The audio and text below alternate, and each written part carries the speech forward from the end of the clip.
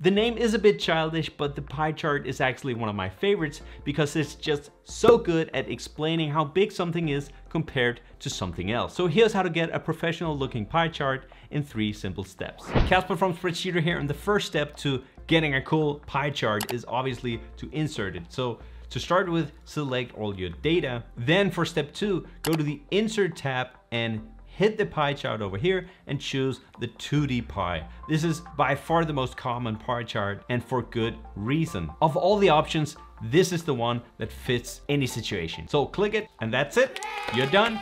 But wait a minute, not quite. This looks pretty good, but it can look a lot better. So let me show you how.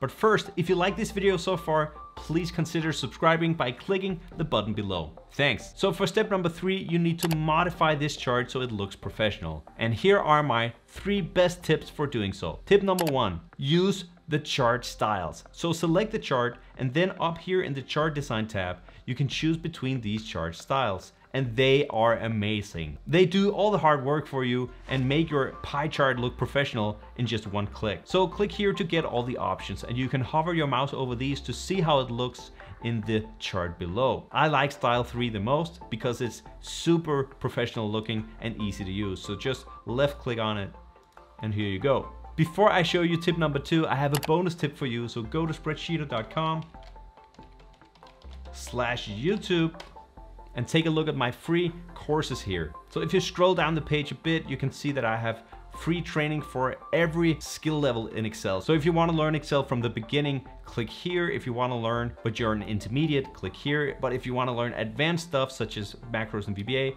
choose one of these. Just click here and sign up with your email address and get the course for free. So back to tip number two, which is that you can add and remove elements from the chart and you can do so from the plus button over here. So click that and remove the check mark in whatever element you want to remove. So if you don't want to see the title, click here. If you don't want to see the data labels, click here.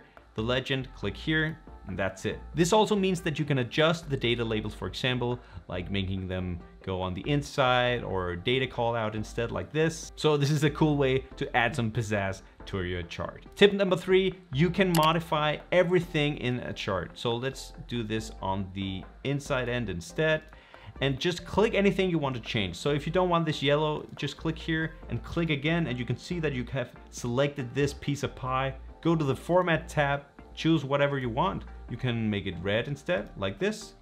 And there you have it. From the format tab, you can do everything with the chart and make it look however you want. Pretty cool, huh? If you want to learn more Excel, please check out this video that is very relevant to you. Thank you so much for watching and I'll see you in the next video.